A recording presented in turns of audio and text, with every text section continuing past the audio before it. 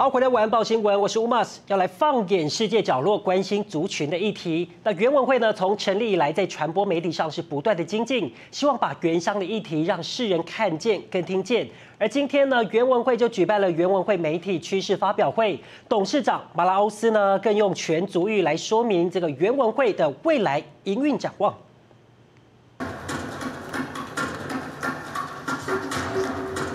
电视、广播、艺术、文化、语言、教育，原文会不断地在软硬实力上精进。从无到有的二十几个年头，原文会从原民传播跟媒体禁用权，办理原住民族使用族语传播媒介，传承原民文化教育，并经营原民文化传播媒体事业，一路坚持传承文化保存，更努力让世界看见台湾的原住民族。二十九号，原文会以“未来的传统，传统的未来”为主题，举办媒体趋势发表会。原文会董事长马拉欧斯更全程使用雅美达乌族语，说明未来营运展望。有一个很重要的精神是说故事的能力，也就是说，呃，我们透过文化、语言、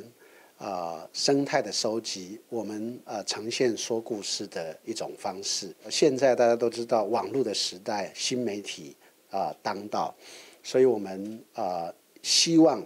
能够增加新媒体的投资跟发展。原文会增加新媒体投资发展，节目内容将更多样、更深入，不只专注传播媒体事业。原文会更期盼扶植优秀文化创作，增加原广台塔台涵盖率等。专家学者鼓励现代年轻人勇于面对自己文化，把专业领域结合世界科技趋势，进而发光发热，回馈原乡。我们年轻的世代所面对的问题，跟我们那个时代，或者是我们在前面的那个时代又很不一样。那我们的文化也不可能一直停留在过去的样貌，我们必须能够适应现代的人，让我们现在的孩子，呃，文化变成不是他的负担，呃，而真是他自己的资产。影像传播媒体的各种不同的展现方式。甚至表演艺术的领域、文学创作的路径，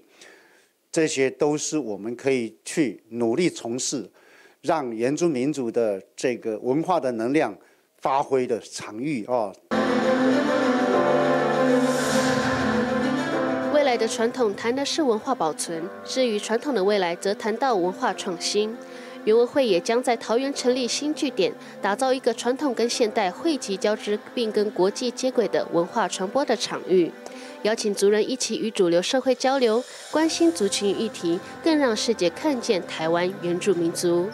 原视新闻，怎么的？许家荣台北市采访报道。